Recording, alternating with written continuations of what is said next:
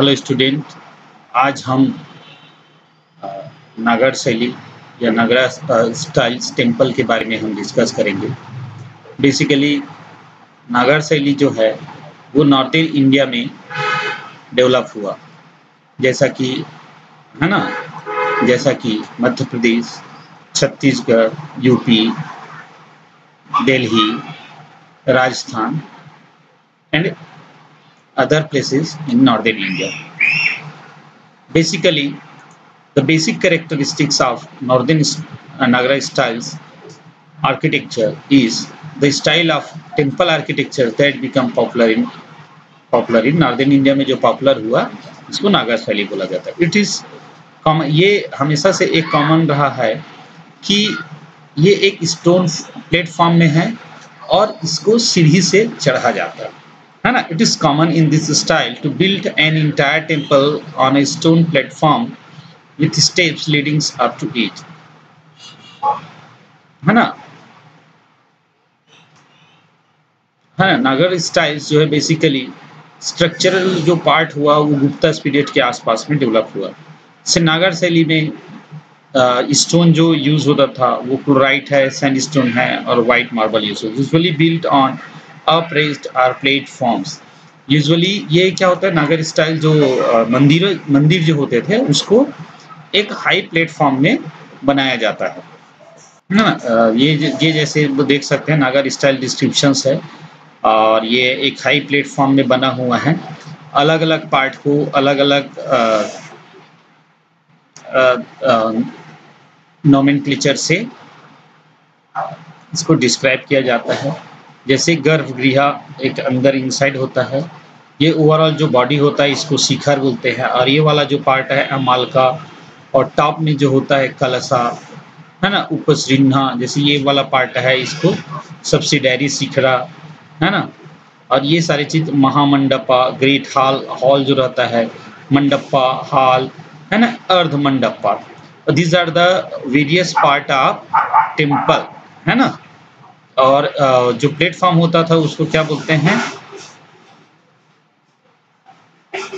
जागृति है ना?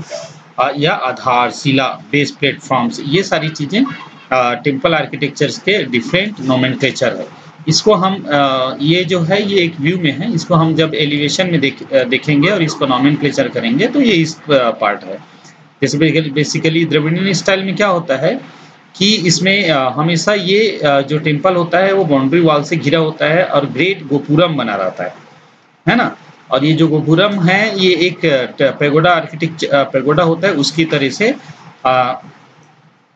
ऑड नंबर स्टोरी में बना रहता है। This is Mandapa श्रीमाना Shikhara this is basically dominion styles architectures है ना? ना? तो तो let's come to the various Nagara styles architectures features है ना?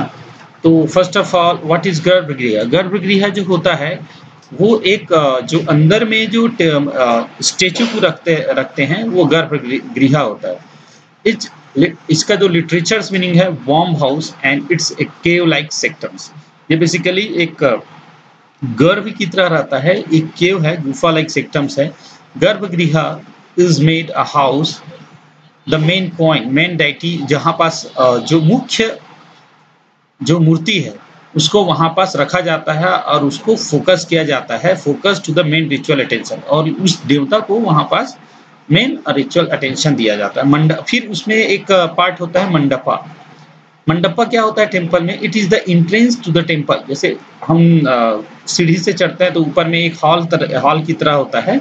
वो एक मंडप है, इट में भी पोर्टिको और मतलब एक खुले एरिया भी हो सकता है कॉलम भी हो सकता है सीरीज़ ऑफ़ कॉलम इंटरवल्स है ना halls that incorporated spaces for a large number of worshippers फिर ओवरऑल जैसे हम देखें कि ये जो पार्ट है, ये शिखर है। तो शिखर क्या होता है? शिखर या इसको हम बोलते हैं Vimana.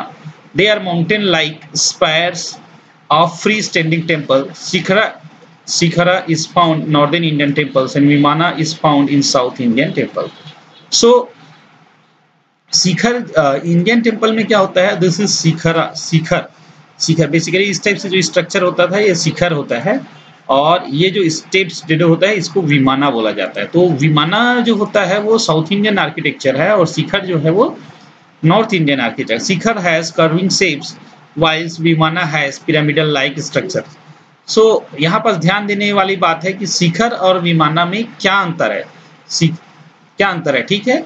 तो what is the differences between Shikhara and Vimana so I am going to repeat it and read it they are the mountain like spire of a free standing temple what है ना? Shikhara is found in northern Indian temple and Vimana is found in south Indian temple Shikhara has the carving shapes थोड़ा सा ये जो shape होता है, वो इस तरीके से ऐसा होता है curving shape whilst Vimana has pyramidal like structures. Later we will uh, see all these uh, part in detail through uh, through images. So let's come to the amalaka It is the stone or a horizontal fluid disc-like structure at the top of the temple, usually seen in northern Indian temple. So uh, this this part is amalaka okay amalaka and what is kalasa kalasa on the top of amalak spherical shape was placed usually seen in north indian temple this is kalasa okay kalas uh, okay. then antara antarala antarala is transition area between the garbhagriha and the temple main hall है ना तो जो गर्भगृह होता है और जो hall होता है उसके बीच का जो स्पेस होता है उसको अंतराला बोला जाता है then Jagati it is it is the raised platforms for seating and praying and it is common in north Indian temple basically जो थोड़े से ऊँचे में जो हम जो हम टेंपल को बनाते हैं, या हाई प्लेटफॉर्म प्रोवाइड करते हैं, उसको हम जगती बोलते हैं, है ना? नॉर्थ इंडियन टेंपल में। Vahana it is the mount or of the the temple deity along with the standard pillar और ध्वज which is placed exactly before the sectum है ना? ये जो विमाना होता है, ये व्हीकल्स का एक वहाँ जो मंदिर है, उसका व्हीकल्स के रूप में काम करता है। इसको हम वाहना बोलते हैं, है ना? तो जैसा कि सूर्य टेंपल में आप देख सकते हैं कि ये सूर्य टेंपल कोणार्क में जो है, उसमें सेवन हॉर्सेस चरियट जो लगे हुए हैं, उसको हम वाहना बोलते हैं इसमें। ठीक है? तो So let's discuss all these parts in a, in a more detail. There are three types of Sikhara, Rekha Prasad and Latika. It's the simple and most So uh, the, uh, the next features of Nagara style is Sikhar. This is Sikhar is Sikhar is called a dual and is almost vertical till the top when it suddenly curves sharply inward and dual jagamohan and nat mandir the lingaraja temple at bhubaneswar uh, which has built in 11th century the jagannath puri the great sun temples of Konark is example of Nagara styles temple. The next examples of Nagara styles uh, temple architecture is Khajuraho temples are known for their their base design and draw inspiration and sculpture patronized by Chandela kings of Bundelkhand.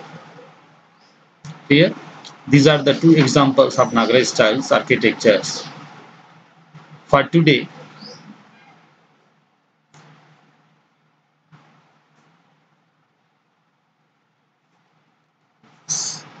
so this is this is all about Nagar architectures. Okay. Thank you and have a happy learning to you